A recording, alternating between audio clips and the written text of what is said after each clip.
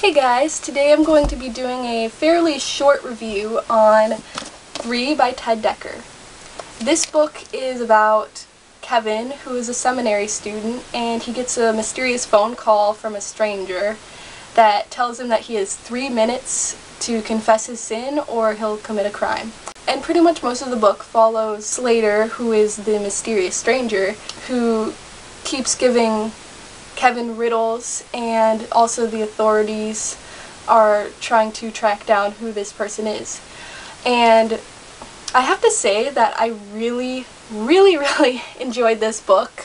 I thought it was great. It was full of suspense and there are a lot of twists and turns that I really, really didn't expect. The writing style I thought was pretty good. It wasn't as good as I thought it was when Ted Dekker was writing the Circle trilogy, which is black, red and white. I think that's the um, order.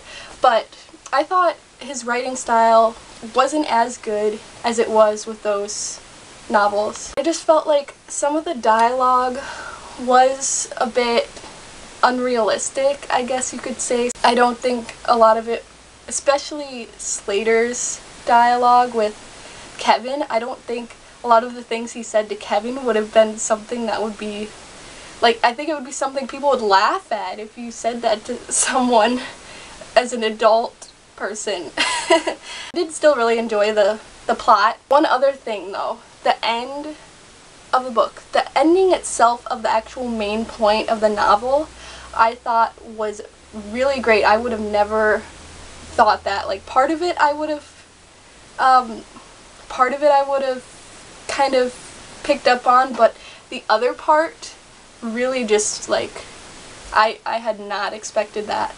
That was really good, but again, part of that ending that I didn't expect, that ending I really thought was great when I first finished reading it. I thought that was amazing. But after I really thought about it more and kind of really thought about would that actually be a good ending? Would that actually work? It might not. That also kind of seemed a little not believable, a little unrealistic. The actual end end of the novel, I thought that was also kind of unrealistic. Just some of the things that they were saying were going to happen and some of what was going on between the characters was kind of like, is that really, are you, are you really going to do that? Just like, why?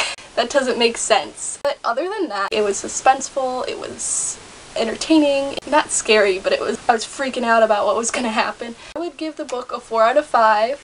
Definitely a really great read, but it had a few little flaws that I saw. I would recommend it if you like any kind of suspense or thriller novels. Now, I don't know how predictable it is in compa comparison to people who read a lot of suspense novels because I don't. It might be a lot more predictable than what I'm saying it is. So you can kind of keep that in mind if you read a lot of that kind of stuff. I hope you enjoyed this review and I will talk to you guys in my next video. Bye!